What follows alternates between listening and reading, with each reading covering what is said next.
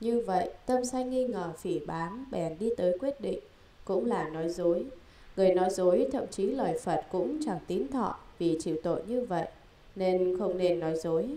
Lại nữa, như con Phật là La Hầu La khi còn ấu thơ, chưa biết rẻ miệng có người đến hỏi Thế Tôn có ở nhà chăng? Nói dối là không có ở nhà. Nếu khi Phật không ở nhà, có người hỏi La Hầu La Phật ở nhà chăng? Nói dối là Phật ở nhà. Có người kể lại với Phật, Phật bảo La Hầu La cầm chậu lấy nước cho ta rửa chân. Phật rửa chân xong bảo úp chậu ấy lại theo lời dạy. La Hầu La liền úp lại, Phật bảo La Hầu La lấy nước rót lên, rót xong, Phật hỏi nước có vào trong chậu chăng? Thưa, Bạch Thế Tôn không vào. Phật bảo La Hầu La cũng như vậy, người không biết tàm quý, sự nói dối che tâm đạo pháp không vào được. Như Phật dạy, nói dối có 10 tội, một hơi miệng hôi, hai thiên thần xa lánh, kẻ phi nhân được tiện lợi, ba Tuy có nói thật không ai tin thọ 4. Người trí mưu nghị thường không được tham dự 5. Thường bị phỉ báng vì tiếng xấu ác đồn khắp thiên hạ 6. Không được người cung kính Tuy có dạy bảo Người ta không thừa nhận ứng dụng 7.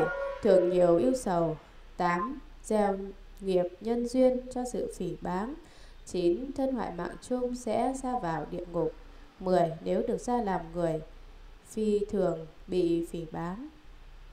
Các thứ như vậy không làm, ấy là không nói dối, gọi là thiện luật nghi của miệng. Không uống rượu là rượu có ba thứ, một rượu gạo, hai rượu quả, ba rượu cây thuốc. Rượu quả là quả nho, quả alecha, các thứ như vậy gọi là rượu quả. Rượu cây thuốc là các thứ cây thuốc hòa hợp với gạo, men trong nước mía, có thể biến thành rượu, giống như rượu sữa thú. Tất cả sữa nóng, đều có thể làm rượu được. Nói tóm, các thứ như vậy hoặc khô hoặc ướt hoặc thanh hoặc trượt có thể khiến tâm người biến động phóng giật đều gọi là rượu. Tất cả đều không nên uống, ấy gọi là không uống rượu. Hỏi, rượu có thể trừ lại ích thân, làm cho tâm hoan hỉ, vì sao không uống? đáp ích thân rất ít mà hại thân rất nhiều cho nên không nên uống. Ví như đồ ăn ngon trong đó có lẫn độc là những độc gì? Như Phật nói với yêu bà Tắc Nan Đề Ca, rượu có 35 điều hạ. Một, hiện đời tài vật hao kiệt. Vì sao? Vì người uống rượu say, tâm không biết tiết chế giới hạn, phí dụng vô độ. Hai, cửa ngõ cho mọi tật bệnh. Ba, gốc của sự đấu tranh. Bốn, lõa lồ không biết hồ 5. Tiếng tâm xấu xa 6. Không ai kính trọng 7. Vật đáng được lại không được, Vật có được lại bị tan mất 8. Những việc kiến đáo đem nói hết với người 9. Các sự nghiệp bị bỏ phế không thành 10. Say là gốc sầu muộn Vì sao? Trong khi say gây nhiều tội lỗi 11. Thân lực cảm kém sút 12. Thân xác bại hoại 13. Không biết thờ kính cha 14. Không biết thờ kính mẹ 15. Không kính sa môn 15. Không kính bà la môn 16. Không kính bác chú và các vị tôn trưởng Vì sao? Vì khi say hồn muội hoảng hốt không phân biệt được gì 18. Không tôn kính Phật 19. Không kính Pháp 20. Không kính Tăng 21. Bè bạn với kẻ ác 22. Xa lìa bậc hiền thiện 23. Làm người phá giới 24. Không tảm quý 25. Không thủ hộ các căn 26. Phóng túng sắc dục 27. Bị người ganh ghét không ưa thấy 28. Bị các thân tộc tôn quý và các hàng trí thức đuổi bỏ 29. Hành pháp bất thiện 30. Vứt bỏ thiện pháp 31. Bị người sáng kẻ trí không tin dùng Vì sao? Vì phóng giật theo rượu 32. Xa lìa nếp bàn 33. Gieo nhân duyên về sự cuồng si 34. Thần hoại mạng chung đoạn vào trong địa ngục ác đạo. 35. Nếu được làm người, Nơi sanh ra thường phải điên cuồng, lẩn thần Vì các điều tai hại như thế, Cho nên không uống. Như kệ nói Rượu mất tướng giác chi, Thân xác trượt mà xấu, Trí tâm động mà loạn Tạm quý đã bị cướp, Thất niệm tăng sân hận, Mất vui hủy tôn tộc. Như vậy tuy gọi uống, Thật là uống độc chết. Không đáng giận mà giận, Không đáng cười mà cười, Không đáng khóc mà khóc. Không đáng đánh mà đánh, Không đáng nói mà nói. Chẳng khác chi người cuồng cướp các công đức lành. Người biết hồ không uổng. Bốn tội như vậy không làm là luật nghi thiện của thân. Không nói dối là luật nghi thiện của miệng. Gọi là năm giới luật nghi yêu bà tắc. Hỏi, nếu giữ tám luật nghi, Thân có ba, miệng có bốn Và không uống rượu Và nuôi sống cách trong sạch gọi là giới, Vậy vì sao yêu bà tắc đối với trong luật nghi của miệng không có ba luật nghi Nói hai lưỡi, nói ác, nói theo dệt Và nuôi sống cách trong sạch. Đáp hạng cư sĩ tại gia thọ dục lạc ở đời Chỉ kiêm tu phước đức Không thể tu hết các giới pháp Cho nên Phật chỉ khiến giữ năm giới. Lại nữa trong bốn thứ khẩu nghiệp Nghiệp nói dối là nặng nhất Lại nữa nói dối là sanh tâm cố làm. Còn các nghiệp khác nói hai lưỡi vân vân Hoặc cố tâm làm Hoặc không cố tâm làm. Lại nữa chỉ nói dối là gồm đủ ba thứ kia Lại nữa trong các thiện pháp chân thật là lớn nhất nếu nói lời chân thật là đã gồm đủ được bốn thứ tránh ngữ. Lại nữa hàng cư sĩ ở đời còn phải làm quan xử lý sự việc, sứ giả của nghiệp nhà cho nên khó giữ được giới không nói ác, nói dối là cố ý làm. Vì là việc trọng nên chẳng nên làm. Năm giới này có năm bậc lãnh thọ là năm hạng yêu bà tắc, một nhất phần hành yêu bà tắc, hai thiểu phần hành yêu bà tắc, ba đa phần hành yêu bà tắc 4. Mãn phần hành yêu bà tắc 5. Đoạn dâm yêu bà tắc Nhất phần hành là ở trong năm giới chỉ thọ được một giới.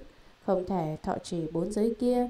Thiểu phần hành là hoặc thọ được hai giới hoặc thọ được ba giới. Đa phần hành là thọ được bốn giới. Mãn phần hành thọ chỉ đủ năm giới. Đoạn dâm là sau khi thọ ngũ giới. Ở trước, thầy lại phát lời thẻ rằng, Tôi đối với vợ mình không còn hành dâm, ấy gọi là nam giới như Phật dạy kệ rằng, không giết cũng không trộm, cũng không có tà dâm thật ngữ không uống rượu, tránh mạng với tịnh tâm, nếu làm được như vậy, trừ lo sợ hai đời.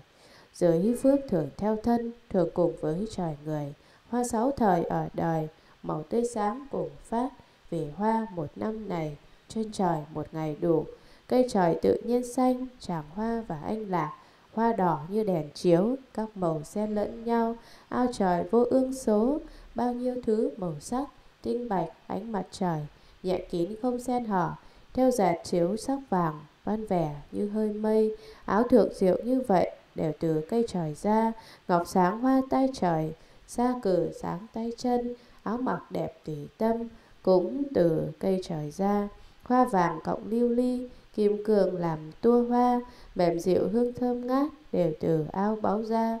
Đàn cầm tranh không hầu, trang sức bằng bảy báu, đồ đẹp nên tiếng trong cũng đều từ cây ra.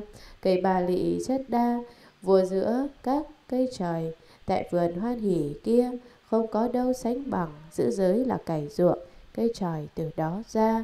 Bếp trời vị cam lồ, uống ăn trừ đói khát, gái trời không giam ngại, không có nạn mang thai, được vui vẻ tự nhiên, ăn khỏi nạn đại tiểu. Giữ giới thường nhiếp tâm, được sanh chỗ tự do, vô sự cũng vô nạn, thường được vui thỏa chí, trừ thiền được tự tại, lo khổ không còn sanh, nghĩ muốn gì liền đến, thân quang chiếu tối tâm, các thứ vui như vậy đều do thí và giới. Nếu muốn được báo ấy, hãy nên tự gắng sức. Hỏi, này, nói giới ba la mật sẽ được thành Phật. Vì sao lại tán thán phước báo cõi trời? Đáp Phật dạy ba sự chắc chắn được quả báo không sai. Bố thí được đại phước, Chỉ giới được sanh chỗ tốt, Tu định được giải thoát. Nếu riêng chỉ giới, chỉ được sanh chỗ tốt. Nếu tu định trí tuệ, từ bi hòa hợp, Thì được đạo quả ba thừa. Này chỉ tán thán chỉ giới hiện đời được công đức, Tiếng tâm an vui đời sau được quả báo. Như bài kệ đã tán thán. Ví như con nít lấy đường bọc thuốc đắng sau mới uống được. Này trước hết tán thán phước đức của sự trì giới. Vậy sao người ta mới trì giới được? Trì giới rồi lập thệ nguyện lớn được đi đến Phật đạo. Ấy là trì giới, sanh giới, ba la mật. Lại vì hết thảy người đều ưa tắm sự vui. Trong sự vui của thế gian, vui trên trời là hơn cả. Nếu nghe các thứ khoái lạc trên trời, liền thọ trì giới.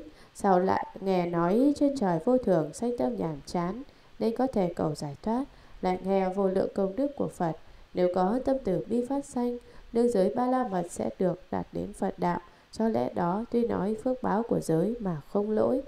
Hỏi, Hàng cư sĩ tại gia chỉ thọ năm giới ấy Hay còn có pháp gì khác Đã còn có giới thọ trì trong một ngày Thọ vào trong sáu ngày trai Công đức vô lượng Hoặc trong 12 tháng Từ một ngày đến 15 ngày thọ trì giới này Được phước đức rất nhiều Hỏi làm sao để thọ giới trong một ngày? Đang cách thọ giới một ngày Là quỳ thẳng chắp tay trước giới sư nói như vậy. Con tên này một ngày một đêm quy y Phật, quy y Pháp, quy y Tăng Nói như vậy. Tiếp quy y lần thứ hai, lần thứ ba. Con tên quy y Phật rồi, quy y Pháp rồi, quy y Tăng rồi Nói như vậy. Tiếp lần thứ hai, lần thứ ba quy y rồi. Con tên là hoặc thân nghiệp bất thiện, khẩu nghiệp bất thiện, ý nghiệp bất thiện vì tham dục sân nhuế, ngu si hoặc đời này hoặc đời trước có các tội như vậy, ngày nay thành tâm sám hối, thân được thanh tịnh, miệng được thanh tịnh. Thọ chỉ tám giới, ấy là bồ tát, tàu dịch là thiện túc, ngủ yên lành. Như chư phật chọn đời không sát sanh, còn tên là trong một ngày một đêm không sát sanh cũng như vậy. Như chư phật chọn đời không trộm cắp, con tên là trong một ngày một đêm không trộm cắp cũng như vậy. Như chư Phật chọn đời không dâm dục con tên là trong một ngày một đêm không dâm dục cũng như vậy. Như chư Phật chọn đời không nói dối, con tên là trong một ngày một đêm không nói dối cũng như vậy. Như chư Phật chọn đời không uống rượu, con tên là trong một ngày một đêm không được uống rượu cũng như vậy. Như chư Phật chọn đời không ngồi giường cao lớn, con tên là trong một ngày một đêm không ngồi giường cao lớn cũng như vậy. Như chư Phật chọn đời không đeo tràng hoa, không xa hương, không mặc áo ướp hương, con tên là trong một ngày một đêm không đeo tràng hoa, không xoa hương, không mặc áo ướp hương cũng như vậy. Như chư Phật chọn đời không tự ca múa làm vui, không đi xem nghe, con tên là trong một ngày một đêm không tự ca múa làm vui, không đi xem nghe cũng như vậy.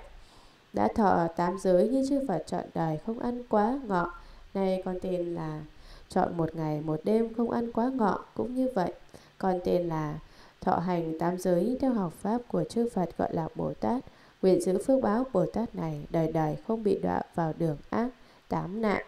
Còn cũng không cầu cái vui trong thế giới chuyển luân thánh vương, phạm thiên, đế thích thiên vương, chỉ nguyện dứt hết các phiền não, kiếp được tát bà nhã, trí tuệ, thành tựu Phật đạo.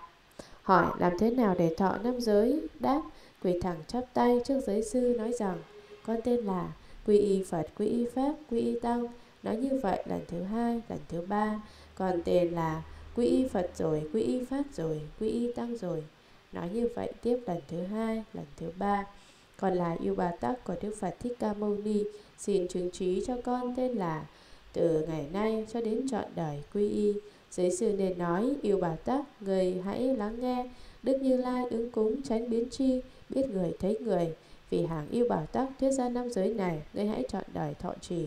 Những gì là năm, chọn đời không sát sanh là giới yêu bảo tắc trong đây chọn đời không nên cố ý sát sanh. Việc này nếu giữ được, hãy trả lời. Dạ giữ được. Chọn đời không trộm cắp là giới yêu bảo tắc trong đây chọn đời không nên trộm cắp. Việc này nếu giữ được, hãy trả lời. Dạ giữ được. Chọn đời không tà dâm là giới yêu bảo tắc trong đây chọn đời không nên tà dâm. Việc này nếu giữ được hãy trả lời dạ giữ được. Chọn đời không nói dối là giới yêu bà tắc Trong đây chọn đời không nên nói dối, Việc này nếu giữ được, hãy trả lời Dạ giữ được. Chọn đời không uống rượu là giới yêu bà tắc Trong đây chọn đời không nên uống rượu, Việc này nếu giữ được, hãy trả lời Dạ giữ được. Ấy là năm giới yêu bà tắc chọn đời thọ trì. Nên cúng dường tam bảo là Phật bảo, Pháp bảo. Tỳ kheo tăng bảo, Xin tu phước để cầu Phật đạo. Hỏi vì sao trong 6 ngày trai thọ tam giới tu phước đức? Đáp vì các ngày ấy ác quỷ theo dõi người muốn cướp mạng người, gây tật bệnh hung dữ suy bại, làm cho người không yên lành. Do vậy lúc kiếp sơ, các thánh nhân dạy người chỉ trai tu thiện làm phước để tránh sự hung suy. Lúc ấy trai pháp không phải thọ tam giới, chỉ trong một ngày không ăn là trai. Sau này Phật ra đời mới dạy rằng các người hãy một ngày một đêm giống như chư Phật giữ tam giới và quá ngọ không ăn. Công đức ấy đưa người đến Niết Bàn. Như trong Kinh Tứ Thiên Vương Phật dạy Mỗi tháng 6 ngày trai Thái tử sứ giả và bốn thiên vương tự xuống trần gian quan sát chúng sanh. Nếu thấy ít người bố thí, trì giới, hiếu thuận cha mẹ liền trở lên trời đao lợi với các đế thích. Với đế thích, Đế thích chư thiên đều không vui nói rằng giống Atula nhiều, giống chư thiên ít. Nếu có nhiều bố thí trì giới hiếu thuận cha mẹ, thì đế thích chư thiên tâm bẻ hoan hỉ, nói rằng chư thiên tăng ít, chúng Atula tổn giảm. Bấy giờ, thích đề bà na dân thấy chư thiên tâm hoan hỉ nên thuyết kệ rằng Tháng 6 ngày thần đạo, thọ trì giới thanh tịnh. Người ấy tuổi thọ hết, công đức áp như ta.